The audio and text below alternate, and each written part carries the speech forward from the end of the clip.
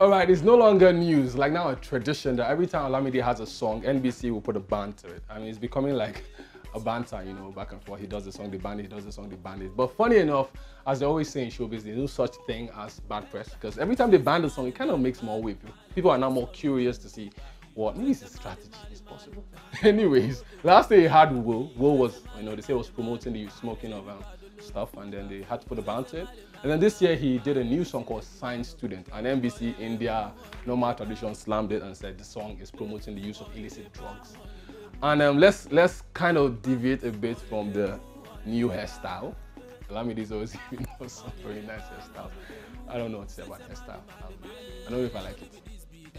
But let's hear your comments about what you think. And do you think NBC are being too sensitive or should they just allow the guy just be and breathe? So feel free to comment below.